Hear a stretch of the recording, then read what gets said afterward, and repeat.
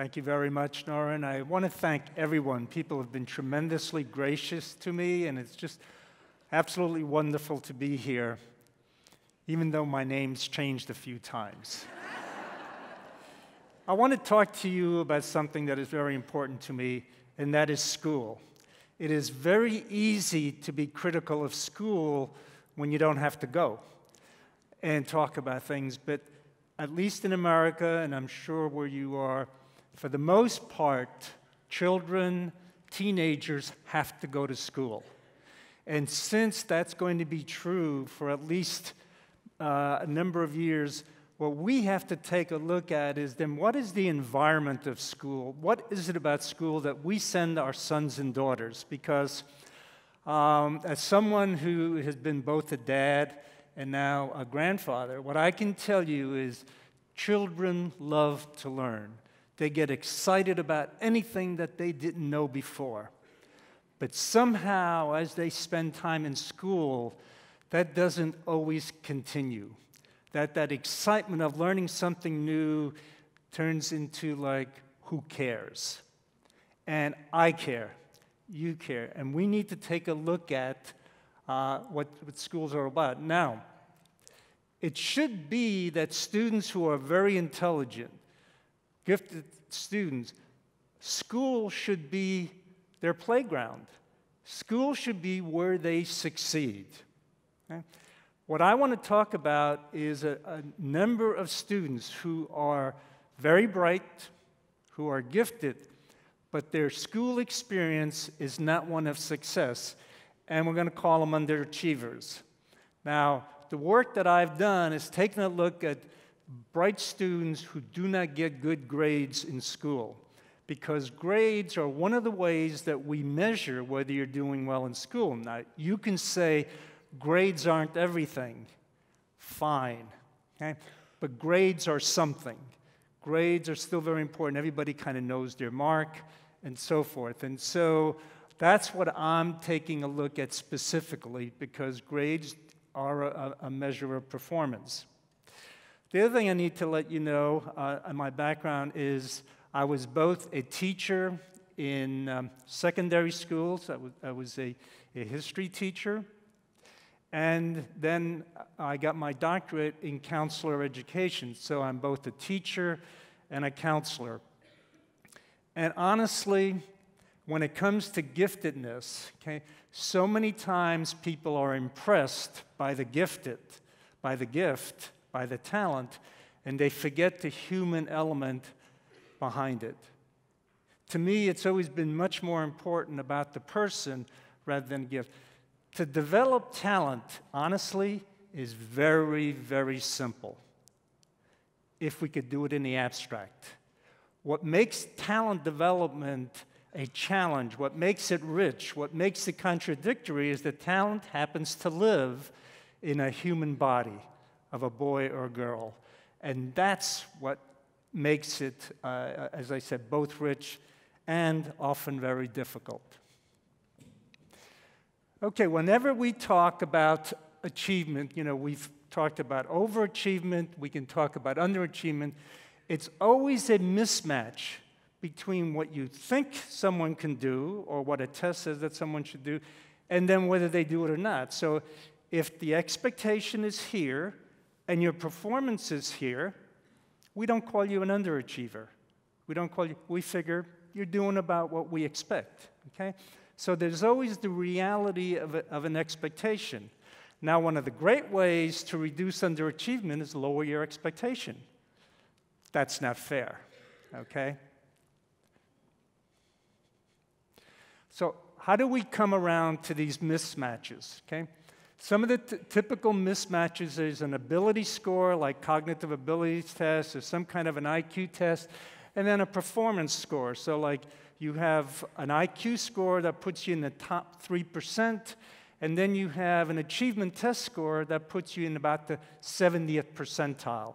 And you would say, something's wrong here. How can you be that smart here and not doing so well? there must be some kind of an underachievement. Most of our underachievement comes because of maybe standardized test scores, okay? but then also grades. So if you have a standardized test score that puts you in the top two or three percent, but your grades, and I don't know if, you know, we have like A, B, C, A being the best. So if your grade is like a C, we figure something's wrong. You're in the top 3% in the nation here, and you're just getting a C here. So you're underachieving. Now, what, what's going on? Actually, the reality of many schools, it's what the teacher also believes. So there are many teachers, they get to know the students, and they say, I know this girl can do a lot better. I know this boy can do a lot better, and they're not. You're not going to fool me. You're much smarter than you're pretending to be. And so we would consider that person uh, an underachiever because the teacher says he's not doing nearly what he can. And sometimes the parents are also that way, that they say, look, my son is not a C student. My son can do much better. Okay? And sometimes they're right, sometimes maybe not. But that's how we determine underachievement. And then there's also sometimes when the students themselves, a very bright student will say, you know, I know I can do better. I'm just not willing to do it.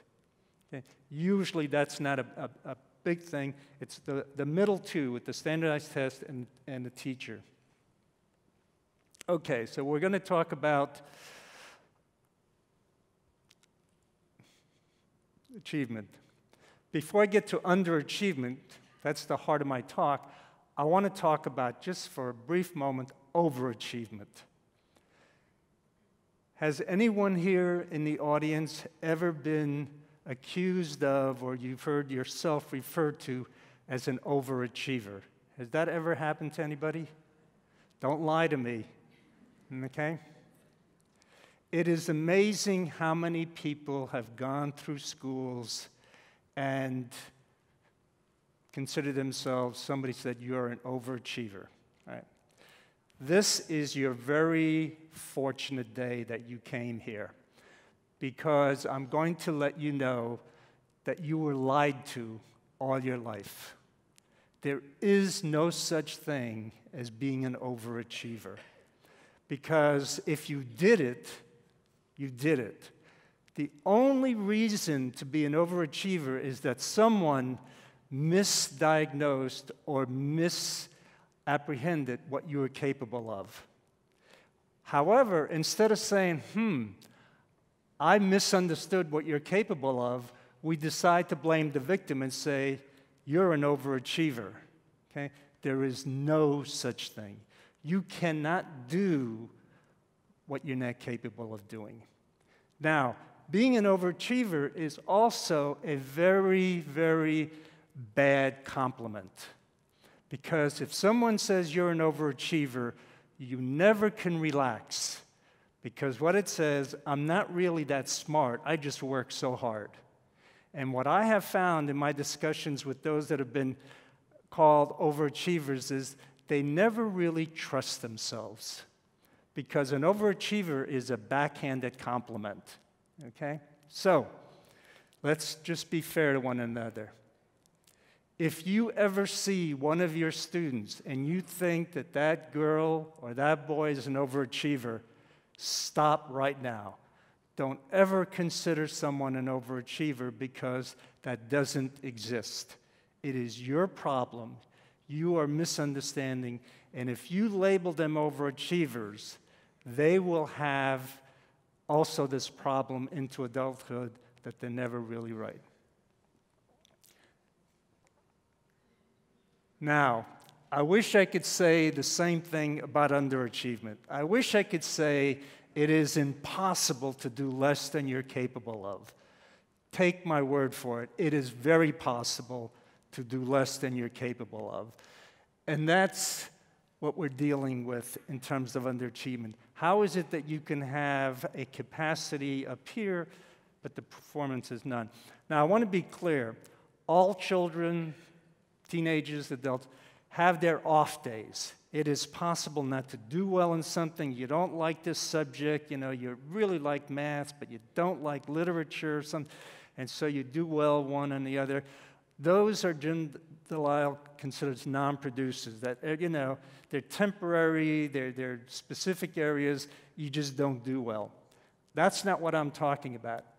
Oh, underachieving is a much more sustained issue, and it's one where you see school as a place where you do not want to do your best. So if you have a bad day, a bad week, a bad month, that's being a non producer. It's not underachievement.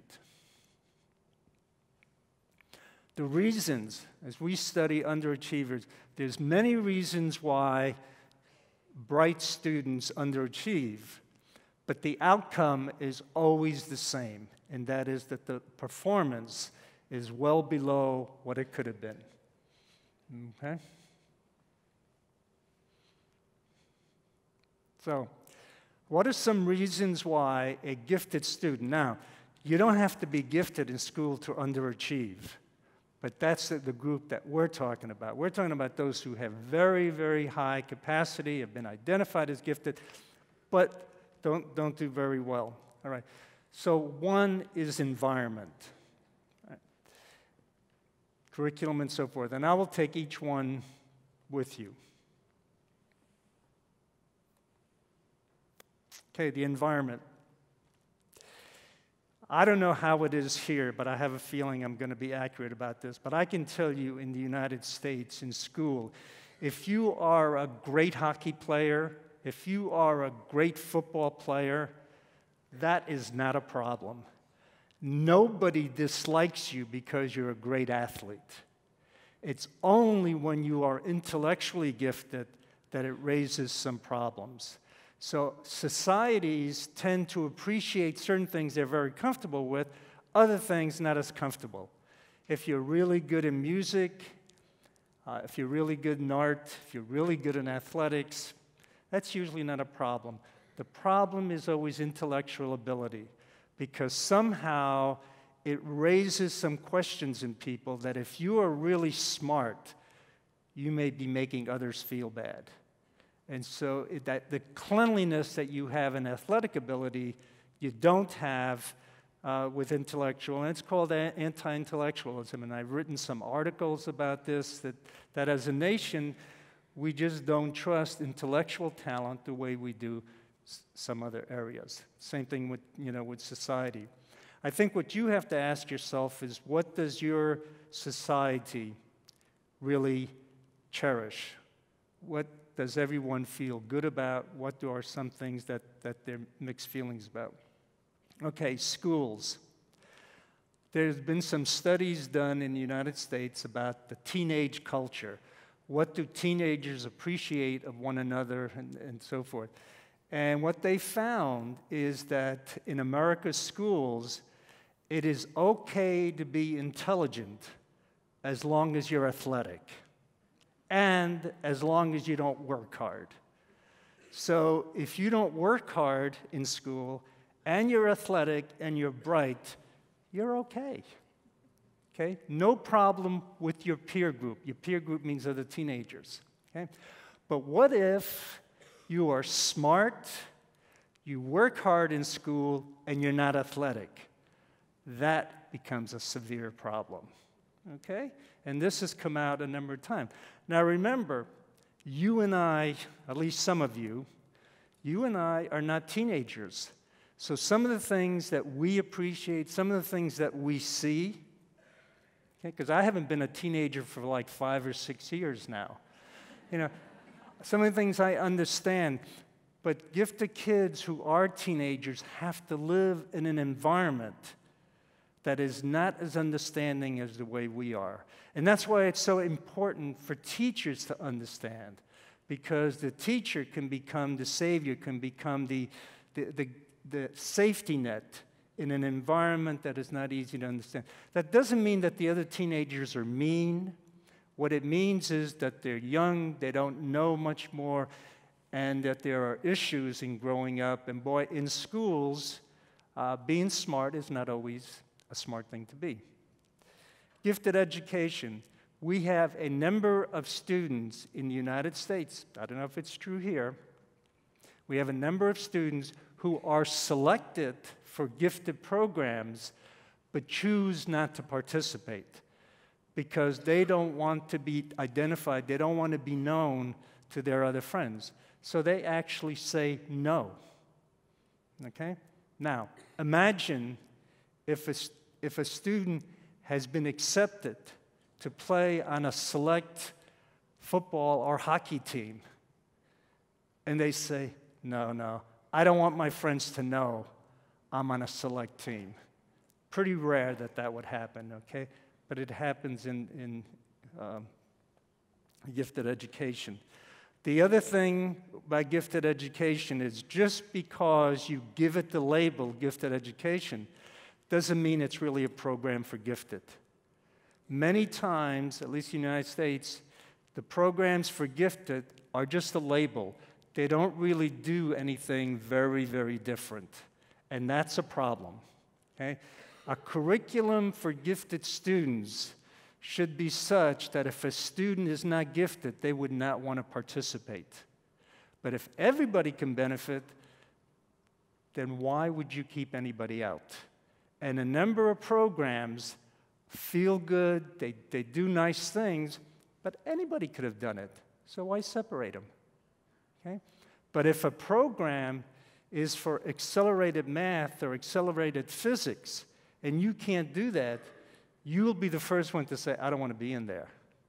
Do you understand what I'm saying? So always take a look at what a program is about.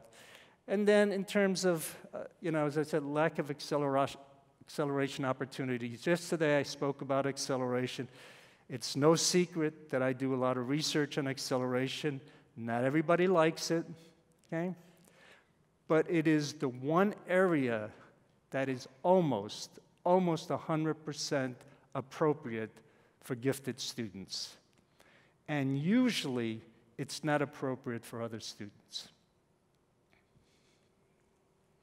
Curriculum, okay? There's something we can learn from coaches. I've been a coach. So, can you imagine this? A coach saying, if you want to see the best in my players, you bring on a really poor team. Because when the opposition is poor, my students shine. Okay? Coaches don't say that. What they'll say is if you want to see the best in my players, you bring on a team that will really challenge them and push them to do their best. And then you will see the best in my players. And that's the same way with curriculum. If you want to see the best in your gifted students, you have to bring on a curriculum that really challenges them, that makes them passionate. If you bring on a curriculum well below them, you're not bringing out the best in them.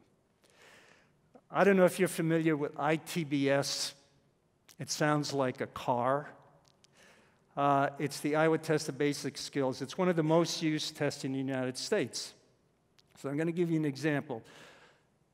I've, I was, see, I was dean for a number of years, and the Iowa Test of Basic Skills is developed in our College of Education.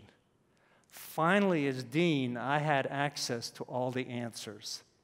I wish I would have had access when I was about 10 years old, because then I could have been highly, highly gifted. So I got the answers much later. But what I'm going to show you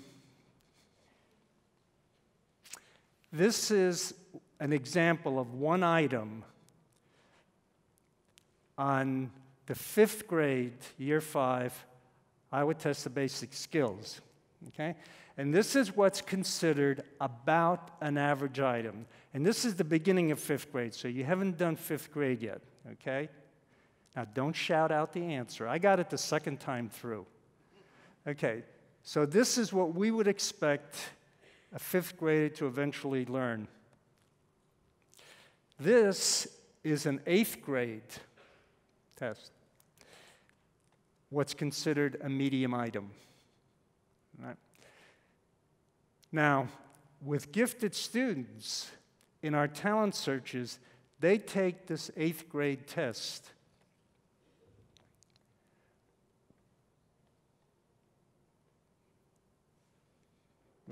Go back. And for the most part, fifth grade uh, gifted students do better on the eighth grade test than America's eighth graders. Okay? So think about this. You're in fifth grade, talented. You, you already know, uh, this, in this case, math, the eighth grade math before you, and yet you're in, stranded in fifth grade with that 100. Okay? Do you see what I'm trying to show? That it's possible to have mismatches between what you're ready for and what you're going to get. Okay? I did a study of Iowa students, and Iowa students are pretty, pretty good in, in, in schools. And I took a look at the fourth grade, fifth grade, and sixth grade. And see, they take the Iowa Test of Basic Skills every year. And what we found with the Iowa students, and they're probably no different than the students in California and New York, what we found is that before they even, that most of the students, usually over 50% of the students at each grade, already knew the curriculum of the next grade, the very smart ones. So those are things we need to think about as educators. Because when you take somebody in and they're really smart, it doesn't mean that they're ready to do the grade work. It means that they could be ready for, for something different. Then there's also interpersonal reasons for underachievement. Okay? There are kids who are very smart who don't always get along with their teachers. Not supposed to be that way, but it happens. And one of the ways that students can show their independence, show how angry they are, is to do poorly in your class because they don't like you. Okay? The same thing with parents. Sometimes students are angry at their parents, and so if you're smart, what better way to get mom and dad angry than to do poor in school? They're going to be tearing their hair out. Okay? And this happens. And it's not because these students are mean or anything, it's because they're trying to express a frustration. And the way that they can do it is say, if I get bad grades, you're going to pay attention to me. In fact, in groups that we run with parents of underachievers, one of the things we look at is which parent is most upset with the underachievement. If it's mom, then you can bet on it that the real struggle is with mom.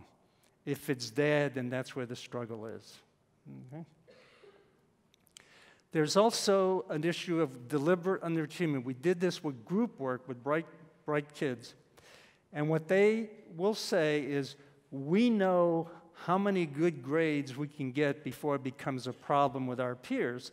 So we deliberately underachieve. We don't get terrible grades, but instead of A, we'll get B. Okay? Because we know that when everybody starts talking about their grades, we don't want to be too high. Okay? So we need to understand, we've learned this through, through our interviews. Right? And again, this comes especially in like grade seven, eight, when students are like 13 and 14 years old because they're very, very vulnerable to, to a number of things and relations with peers. A number of years ago, I did a study on perceptions of gifted students, and we asked them a very simple question Is it a positive? Do you like being gifted? Okay? These were 13, 14, and 15 year olds because we consider those highly, highly vulnerable years. You're just barely a teen, you're in the middle of everything. Usually by 18, 19 you're, you know, you're becoming more independent. 13, 14, 15. And they said overwhelmingly, being gifted is good. It's a positive because it helps me understand information. I can figure out what's going on. They also thought it was good because intrapersonally, within, they could think about themselves and think about the world and say, I try to make sense of who I am. So they saw that as a plus. 93% of our sample of 154 students okay, said that being gifted was a negative in terms of interpersonal. They believed that being gifted was not appreciated by the others around them. Okay? That's a very telling kind of thing if you're 13 or 14 years old. So let me ask you something. What if you knew that there was a quality about you that the other people in this room didn't like? What would you do? Okay? And probably your answer is exactly what they, what they would do is hide it. Because if you know that others in here, you're not going to show it off all the time. Okay? Just, and so that's a lot of what we learned about underachievement. Motivation. This is the one that moms and dads worry about the most, and sometimes teachers, okay? That really the reason for smart kids to get poor grades is because they're lazy and they just don't want to do the work. Okay? What I can tell you in my many years of working with bright kids, that may be true, but it's very, very, very, very small percentage. Almost all the reasons for underachievement are one of the other kinds of things about curriculum. And so if you, if you have a son or a daughter that you think is underachievement and you're frustrated, I can almost guarantee you that it's not because of laziness, it's because of something else. Okay? These students want to do better, but there are other barriers there. Intrapersonal. You tend to do better work if you think well of yourself. Okay? And not all students have a very positive self concept. So if for whatever reason they didn't think well of themselves, or they think like, well, I can never be who I should be, or my, you know, my parents, my teachers think I, I should do more. When you think poorly of yourself, you tend to also perform poorly. This is also true with athletics. If you have an athlete who loses confidence, who doesn't believe he or she can do well again, they will do poorly. Okay, that's why some athletes fall on the, on the uh, gymnastics bar, they have a bad game, and then next, they come back and they're fine. Other athletes do poorly once or twice, and then they begin to lose confidence, and they never quite you know, regain it. The same thing with self concept. So it's really important that we not shatter the self confidence of kids. Perfectionism. This is something that is very unique to high ability students. Some of them see what piano should be played like. Some of them see the way literature should be written. Some of them see the way math should be understood. And they're not happy unless they're perfect. And so, because they know they can't be perfect, they'd rather do less. And so, perfectionism can actually interfere. That's not the same as laziness. What it says is that they have the ability to see in their mind how it could be, and they know they're not there, and so instead of striving for it, they don't. It's, being perfectionistic is fine, it's just when it interferes with you. And then there's also fear of responsibility. This, it's amazing how you know you kind of see contradictions. Some students fear that if I do well, they're going to keep expecting me to do more. So I'm going to cool it. All right? So, all of these reasons, they're not always rational, that doesn't, they're not always consistent, doesn't make sense, but they're all understandable when a student is trying to figure out. And when you have high capacity, all of these things make sense. It's like, if I do really well, will I ever be forgiven for not doing well someday? You know, people will say, How could you do so poorly on something? And so, again, in a 13, 14, 15 year old mind, it all makes sense. Then there's psych- psychological. We didn't know a number of years ago that you could have a disability and still be gifted. Okay, now we call it twice exceptional. We realize that there are many students who have a diagnosed disability, could be on the spectrum, autism, can have a learn, and are still gifted. Okay? In the old days, five, six years ago, in the old days, if you had a disability and you were gifted, the schools dealt with your disability. you got put into a resource room. Now things are changing that they're willing to deal with the giftedness because why should you only work on something that needs remedial? Okay? But way back, if you had a disability, that's what triggered the services that, that you would get. Emotional disorders, none of us are freed from, from those kinds of things, you know, anxieties, nervousness.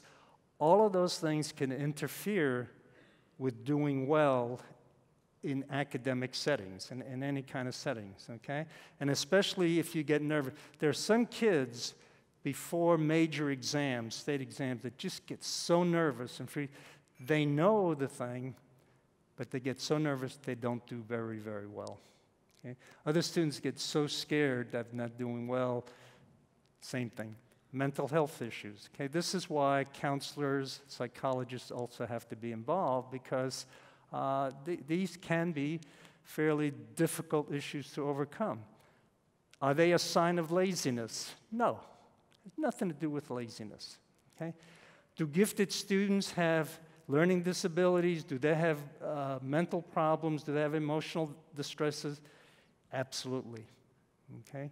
They have them the same way that, you know, other people. Only it gets accentuated because you say, how can you have such a problem when you're, when you're that smart? This is the one that most people think like, ah, who cares? I care. This is organizational skills. We did some studies with students who were having difficulties in school, and we found is they're disorganized, they're chaotic. Half of them couldn't find their homework in a month. Okay?